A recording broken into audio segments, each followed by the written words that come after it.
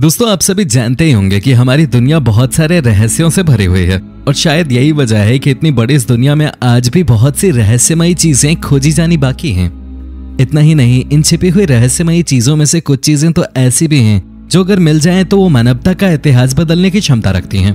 तो चलिए, आज हम आपको बताते हैं धरती पर मिली कुछ ऐसी ही रहस्यमयी चीज़ों के बारे में। नंबर एट, रोमन हेड इन मेक्सिको।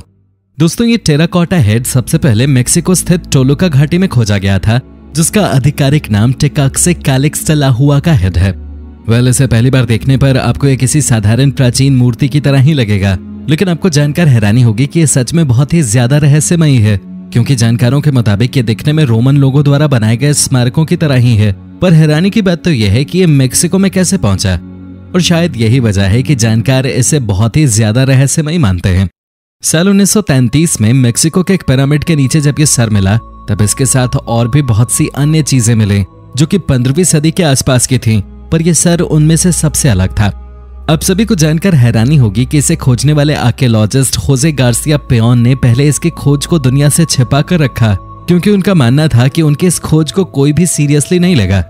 पर 1960 में आखिरकार उन्होंने दुनिया को इसके बारे में बता दिया जिसके बाद ये दुनिया भर के वैज्ञानिकों और जानकारों के बीच एक चर्चा का विषय बन गया, जिसके बाद कुछ जानकारों ने इसे नकली माना। पर कई जानकारों का यह भी मानना था कि ये यूरोप के वाइकिंग्स द्वारा लाया गया था, या फिर रोमन लोगों ने इतिहास में कभी अमेरिका का दौरा किया होगा, जिसकी वजह से ये यहाँ पहुँचा।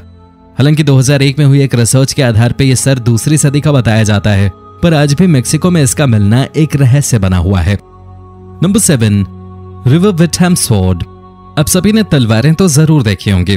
लेकिन क्या आप सभी को पता है, सन 1825 में आर्कियोलॉजिस्ट को यूके के लिंकनशायर में मौजूद विटम नदी से एक ऐसी प्राचीन तलवार मिली, जिसके ऊपर एक अलग भाषा में कुछ लिखा हुआ था।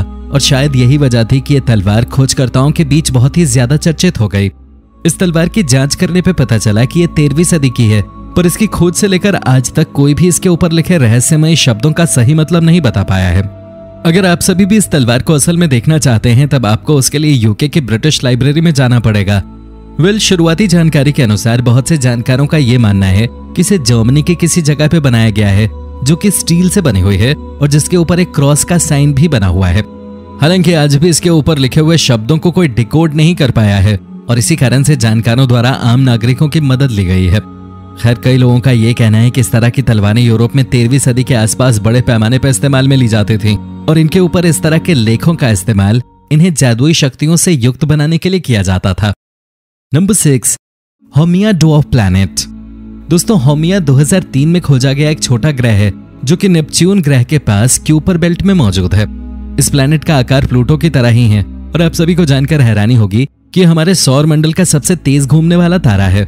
और शायद अपनी इसी गति की वजह से इसका आकार भी बहुत ही ज़्यादा अलग है, बिल्कुल किसी अमेरिकन फुटबॉल की तरह। अब आपके मन में यह ख्याल ज़रूर आ रहा होगा कि आखिर इसका नाम होमिया कैसे पड़ा? वेल इस प्लैनेट का नाम हवाईयन देवी के ऊपर रखा गया, जो कि उर्वता की देवी मानी जाती हैं। लेकिन अब आप सोच रहे होंगे कि आखिर इस नए क्षुद्र ग्रह में रहस्यमयी क्या है? वेल इसमें रहस्यमयी है इसके आसपास मौजूद रिंग, जो कि 2017 में खोजी गई थी। और इसी वजह से ये क्यूपर बेल्ट में मौजूद ऐसा पहला ऑब्जेक्ट बन गया है, जिसके आसपास रिंग मौजूद है।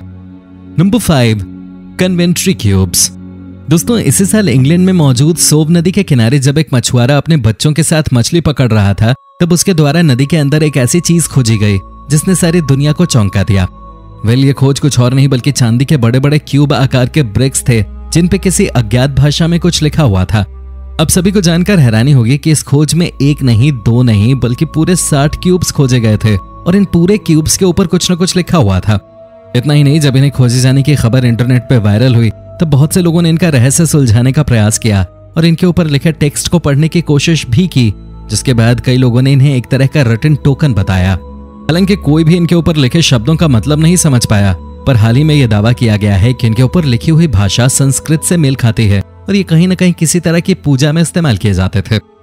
नंबर फोर एंशियंट गदा। अब सभी प्राचीन भारत में युद्ध के दौरान इस्तेमाल किए जाने वाले हथियार यानी कि गदा से तो अच्छे से वाकिफ होंगे, जिसका विवरण हमारी पौराणिक कथाओं में भी मिलता है। आज भारत में बहुत सी मूवीज़ या फिर टीवी शोज़ में गदा को प्रमुख रूप से किसी युद्ध के सीन में इस्तेमाल किया जाता है। जैसा कि आप सभी जानते होंगे कि गदा का प्रयोग भारत के सबसे पूजनीय भगवानों में से एक हनुमान जी द्वारा किया जाता था, जो इसे हमेशा अपने साथ रखते थे और इसी वजह से दुनिया भर में पहलवान और रेसलर्स भगवान हनुमान की पूजा करते हैं। पर क्या आप सभी को मालूम है, गदा का प्रयोग सिर्फ़ हनुमान जी ही नहीं, बल्कि त्रिदेवों में से एक भगवान विष्णु भी किया करते थे और हमेशा उनके हाथ में भी एक गदा रहता था। अक्सर भारत ही नहीं, दुनिया भर में गदा का इस्तेमाल ग्रिप को मज़बूत करने के लिए किया जाता है और और तो और जिम के अंदर भी कंधे की कसरत के लिए गदा प्रमुख रूप से इस्तेमाल होता है। नंबर थ्री, वोल्गोग्रैड डिस्क साल 2015 में खोजकर्ताओं को रूस के वोल्गोग्रैड क्षेत्र में कुछ ऐसे मेटल डिस्क मिले जो कि आकार में बहुत ज़्यादा बड़े थे। अब सभी को जानकर हैरानी होगी कि इन डिस्क को टंगस्टन मेटल द्वारा बनाया गया था, जो कि बहुत ही ज़्यादा मज़बूत होता है। आज बहुत से जानकार कहते हैं कि ये डिस्क एक ऐसी जगह मिली हैं जहाँ अक्सर अजीब घटनाएँ होती रहती हैं, और ऐसे में इन्हें एलियन यान कहना गलत नहीं होगा, क्योंकि इनका आकार भी बिल्कुल एलियन यान की तरह ही है। हालाँकि वैज्ञानिकों द्वारा कभी भी ऐसा दावा नहीं किया गया कि ये एलियन रॉक्स हैं, जिस वजह से ये लोगों के बीच अक्सर कौतूहल का विषय बनी रहती हैं। कई लोगों का मानना है कि इन रॉक्स को एलियंस द्वारा धरती पर लाया गया था, और ऐसे में ये और भी ज़्यादा रहस्यमयी हो जाती हैं।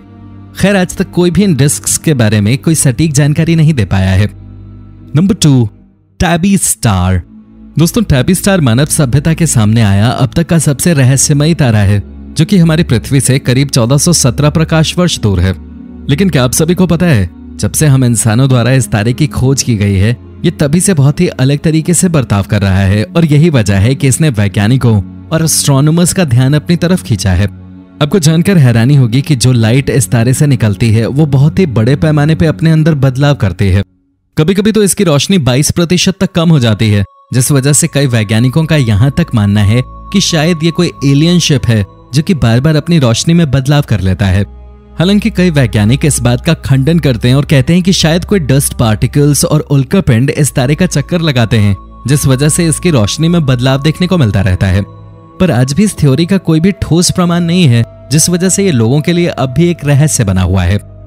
Number one Kensington runestone Kensington runestone एक बयानवे किलो का पत्थर का टुकड़ा है, जो कि डगलस काउंटी, मिनेसोटा में मौजूद है। इस पत्थर को अठारह में ओलोफ ओहनान नामक एक स्वीडिश शरणार्थी द्वारा खोजा गया था। दोस्तों, आप सबको जानकर हैरानी होगी कि ग्रेविक से बना यह पत्थर दुनिया का सबसे ज़्यादा रहस्यमय आर्कियोलॉजिकल आर्टिफैक्ट है। इस पत्थर पर लिखे टेक्स्ट बहुत ही ज़्यादा अजीब हैं और आज भी कोई नहीं जानता कि आखिर किसके द्वारा इन्हें लिखा गया था। दोस्तों, इन टेक्स्ट को वाइकिंग्स द्वारा इस्तेमाल की जाने वाली भाषा में लिखा गया था। जो बताता है कि शायद वाइकिंग्स इस जगह आए थे और उन्होंने इस पत्थर पे कुछ लिखा था। हालाँकि इस पर लिखे गए टेक्स्ट को आज भी डिकोड नहीं किया जा सका है। खैर, जो भी हो, पर वैज्ञानिक जानने में लगे हैं कि वाइकिंग्स का ये तेरह का आर्टिफैक्ट नॉर्थ अमेरिका कैसे पहुँचा, जो कि एक असामान्य बात है, क्योंकि कई जानकारों के अनुसार वाइकिंग्स कभी नॉर्थ अमेरिका आए ही नहीं, जिस वजह से कई लोग इस खोज को फेक भी मानते हैं। तो दोस्तों, ये थी हमारी एक और इंटरेस्टिंग वीडियो अगर पसंद आई हो तो इसे लाइक कीजिए और हाँ जाते जाते चैनल को सब्सक्राइब ज़रूर कर दीजिएगा। धन्यवाद।